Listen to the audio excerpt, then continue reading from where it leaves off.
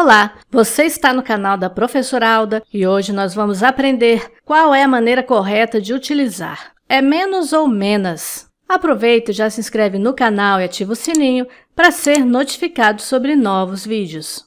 Menos é um advérbio e se você já assistiu ao vídeo sobre advérbios aqui no canal, aprendeu que advérbio é invariável, ou seja, não vai para o plural e também não flexiona para o feminino. Então, o correto é menos, que indica algo em menor quantidade ou numa posição inferior. Exemplo, é necessário falar menos e agir mais. Não o vejo há mais ou menos duas semanas. Quanto menos pessoas souberem de sua vida e seus planos, mais feliz e bem-sucedido você será. As pessoas deveriam ser menos egoístas.